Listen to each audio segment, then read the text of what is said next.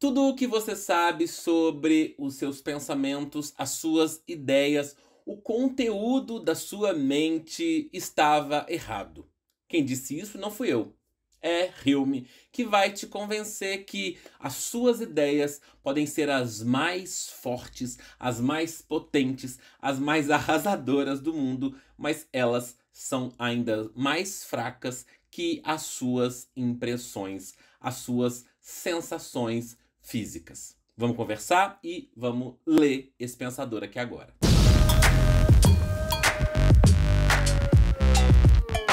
Oi, gente, bem-vindos de volta ao Filosofares. Hoje eu trouxe para vocês aqui um trecho do livro Investigação sobre o Entendimento Humano, do David Hume. Nessa edição minha aqui, que não é das melhores, é até uma edição mais baratinha, mas ela é suficiente, ela é boa para o que a gente vai conversar aqui hoje. Como eu falei no começo do vídeo, nós vamos ler a seção 2 desse livro, que trata sobre a origem das ideias e também sobre o questionamento de que essas ideias elas são ou não mais fortes do que as nossas impressões sensoriais. Mas antes da gente conversar sobre tudo isso, aqui no começo do vídeo já vou te pedir para curtir, se inscrever, deixar seu comentário de apoio e também para enviar esse conteúdo para quem você acha que gosta de filosofia. Além disso, considere ser membro, se tornar membro aqui do canal, clicando aqui embaixo no botãozinho que aparece e também dar uma conferida em todos os links que estão aqui na nossa descrição do vídeo.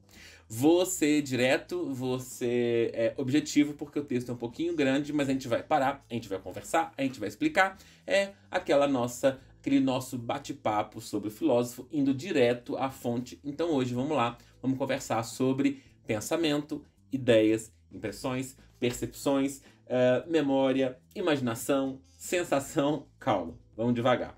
Quer dizer, o Hume não vai tão devagar assim não. Ele já começa dizendo o seguinte: cada um prontamente irá admitir que existe uma diferença razoável entre percepções da mente.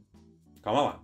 Quando uma pessoa sente a dor do calor excessivo ou o prazer do calor moderado, e quando depois, em sua memória, recorda essa sensação ou a antecipa com a sua imaginação. Então ele está falando aqui, olha, aquilo que a nossa mente percebe, que depois a gente vai chamar de ideias, né? Mas aquela percepção da mente, né? De um calor excessivo, de um calor moderado, tudo isso, a gente sente diferença entre elas, mas ao mesmo tempo isso vai perdendo a força, à medida que a memória vai tomando conta dessa percepção. Porque se você sente, você queima a mão agora, por exemplo, né? Essa sensação ela é muito forte. Mas à medida que isso vai se transformando em memória, essa percepção da memória, né, da mente, que ele está chamando aqui, vai é, começar a caminhar para um outro lugar mais fraco, que até é do caminho uh, de uma recordação ou quase de uma imaginação. Essas faculdades são capazes de imitar ou copiar as percepções dos sentidos. Entretanto, nunca poderão alcançar integralmente a eficácia e a intensidade da verdadeira sensação. Significa que quando a gente sente alguma coisa no momento, é forte. Mas a partir daquilo, do momento que aquilo passou, né, que aquilo já é passado, aquilo se transforma numa memória, numa recordação. E aquilo vai ficando mais fraco, porque a memória, a recordação, é uma imitação daquela sensação. Queimou a mão na panela ali, cozinhando alguma coisa, fritando um ovo, né? Eu falo isso porque eu tenho aqui uma marca de quando criança, né? Eu estava fazendo um omelete e queimei uh, o braço numa panela isso hoje é tão fraco, tão fraco, que eu não consigo nem é, chegar perto do escândalo de criança que eu fiz no dia, quando queimei o braço, saí correndo, achei que ia morrer, porque aquilo foi tão forte que é, mexeu muito comigo, me marcou literalmente. Porém, hoje é só uma cópia daquela sensação, tanto que né, não, não surge tanto efeito assim em mais. É, a menos que a mente esteja perturbada por doença ou loucura, nunca chegam a tal grau de veracidade que não seja possível discernir as percepções dos objetos em si. Quer dizer, uma coisa é o objeto em si, aquela sensação imediata, e outra coisa é a percepção. Tá? Eu estou fazendo aqui uns recortes do texto para a gente é, seguir, porque é um, um capítulo inteiro. Vamos lá. Então, para ele, o pensamento mais vivo, isso aqui meio que resume tá, o que a gente falou até agora, o pensamento mais vivo é sempre inferior à mais remota sensação. É, nosso pensamento é um reflexo fiel e copia seus objetos com veracidade quando refletimos sobre nossas sensações e impressões passadas. Aquilo que eu falei da cópia, né? a gente reflete sobre elas, mas não é exatamente elas que estão na nossa mente mais, né? Aquilo já passou, é uma é, cópia. No entanto, as cores que emprega são fracas e embaçadas em comparação com as que revestiram nossas percepções originais. Então, uma dor ou uma alegria que você, você experimenta na hora, ela tende a se enfraquecer à medida que aquilo vai se tornando memória. Pensa aí você, no dia que você é, sentiu uma dor tremenda, e também o dia que você sentiu uma alegria tremenda.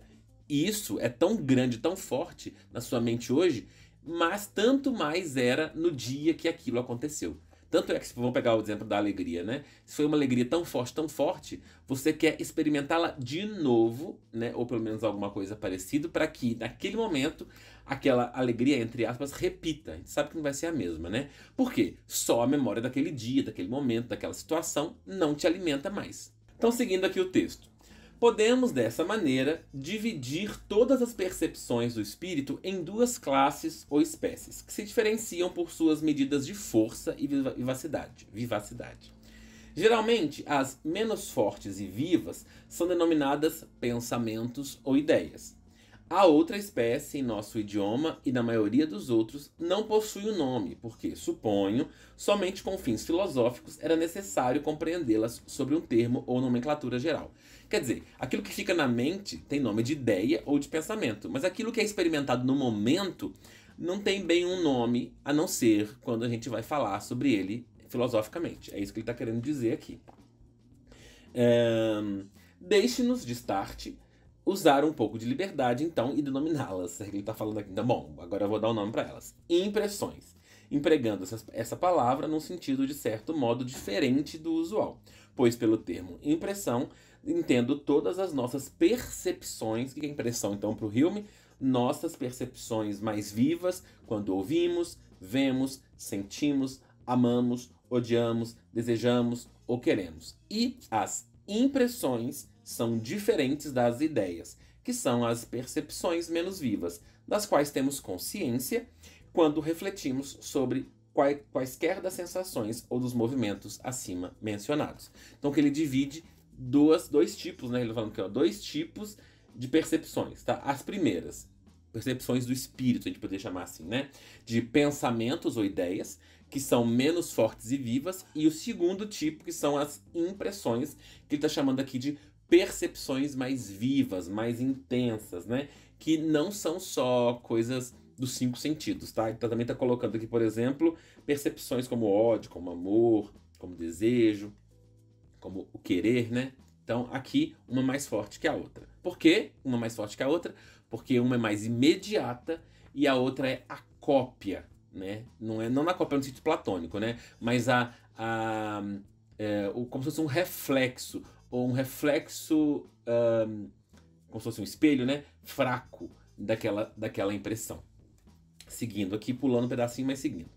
Apesar de o corpo estar preso a um só planeta, sobre o qual se arrasta com agonia e dificuldade, o pensamento pode nos transportar num instante às mais distantes regiões do universo. Ou ainda, além do universo, para o caos indeterminado, onde se supõe que a natureza se encontra em confusão total. Pode-se arquitetar o que ainda não foi visto ou ouvido, porque não há nada que esteja fora do poder do pensamento, exceto o que implica total contradição. O que ele está falando aqui é o seguinte: bom, você pode dizer assim, não, mas o pensamento é maior, é mais forte, a ideia é mais forte, porque ela pode alcançar lugares que as impressões imediatas não alcançam os planetas, invenções de criaturas, outras realidades, outros universos. Ela pode criar coisas, né? Parece que ele é mais forte, mas por causa dessa, desse alcance. Mas o Hillman está querendo dizer aqui que não, e ele vai seguir dizendo por quê. No entanto, embora nosso pensamento pareça possuir essa liberdade imensa, verificaremos por meio de um exame mais meticuloso que ele está verdadeiramente preso a limites mais reduzidos e que todo poder criador da mente não ultrapassa a faculdade de combinar, de transpor, aumentar ou de diminuir os materiais que nos foram fornecidos pelos sentidos e pela experiência. Quer dizer, apesar de parecer que ela é mais ilimitada, ampla, abrangente, ela trabalha com coisas, ela, as ideias, né, a mente, o, o pensamento, trabalha com elementos vindos das impressões, né? E ele vai é, dar exemplos, tá? Uh, por exemplo, ele está falando aqui de montanha de não vou ler essa parte, mas montanha de ouro. Quando você pensa numa montanha de ouro, nossa, minha mente agora foi longe, conseguiu criar, conseguiu elaborar essa ideia. Não, você juntou. É, é você, é, como é que ele falou? Combinou né, a ideia de montanha, que você já teve a impressão de uma montanha, e a ideia de ouro, você já teve uma impressão de ouro, juntou as duas, montanha de ouro. E aí ele segue. Em suma, Todos os elementos do pensamento derivam de nossas sensações externas ou internas, mas a mistura e composição deles depende da mente e da vontade. Ou melhor, para me expressar em linguagem filosófica, todas as nossas ideias ou percepções mais fracas são imitações de nossas vivas impressões ou percepções. Ah, tá, mas agora me diz aí sobre, então, como que eu vou falar de é, argumentos ou de ideias complexas que eu nunca tive experiência. Deus, por exemplo. Então, vamos falar de Deus. Olha lá. A ideia. Tô pulando um pedacinho, mas eu explico o que eu pulei aqui em breve. A ideia de Deus como ser infinitamente inteligente, sábio e bom vem da reflexão sobre as operações de nossa própria mente quando aumentamos indefinidamente os atributos de bondade e sabedoria. Então já tinha falado disso, né? Ele tinha falado lá de combinar, transpor, aumentar ou diminuir coisas materiais, né? Sensações, impressões materiais. Bom, Deus, nesse caso, é o aumento infinito né, de atributos, por exemplo, como bondade, sabedoria, amor, poder, justiça, tudo isso que a gente experimenta na, no, no sensorial, tá? É... Podemos prosseguir com essa investigação até o ponto que quisermos e iremos encontrar sempre que toda ideia que analisamos é cópia de uma impressão similar, mesmo as mais complexas, mesmo as mais é, inicialmente distantes de nós, né? Como é o caso de Deus, por exemplo. A alma, você pode colocar outras coisas aqui. Bom, esse é o trechinho que eu separei para hoje. A gente pode continuar falando de Hume, se você quiser, aqui no canal também, é, lendo outros trechos, mas eu indico muito você ler Investigação sobre Entendimento Humano, porque, como vocês perceberam aqui na minha leitura, é um texto fácil, aspas, né? Se a gente comparar com outros filósofos. Esse tipo de vídeo que eu faço aqui é para incentivar vocês a irem direto ao texto, não ter medo dos autores. Aqui tem um pedacinho de um capítulo que vocês perceberam que o Hume ele introduz a ideia do pensamento dele que é basilar para tudo que vem depois. Claro, ele tem textos mais difíceis, mas aqui vocês perceberam que a linguagem dele, inclusive usando muitos exemplos, é muito acessível para todos nós. Então, como eu falei, essa não é uh, uma das melhores traduções. Eu vou deixar aqui embaixo linkado é, para você adquirir se quiser lá na Amazon a melhor tradução, mas ela é boa o suficiente para quem está começando, né? E como, por exemplo, no meu caso, eu tenho acesso a uma tradução melhor em PDF e já passei por ela na graduação, e hoje eu estou aqui só como é, um auxiliar para vocês estudarem filosofia, e eu comprei, eu, eu procuro comprar livros um pouco mais baratos. Esse então eu vou deixar também esse aqui embaixo mas ele é mais baratinho. Mas a tradução ela tem menos compromisso com a, a tradução, tá bom? Bem, é, por hoje é só. Aqui no final do vídeo eu tô deixando para vocês outros dois é, vídeos, né? De indicação para vocês continuarem estudando Hume, se quiserem. Uh, muito obrigado por me acompanhar até aqui. Confiram os links na descrição. A gente se vê numa próxima e tchau!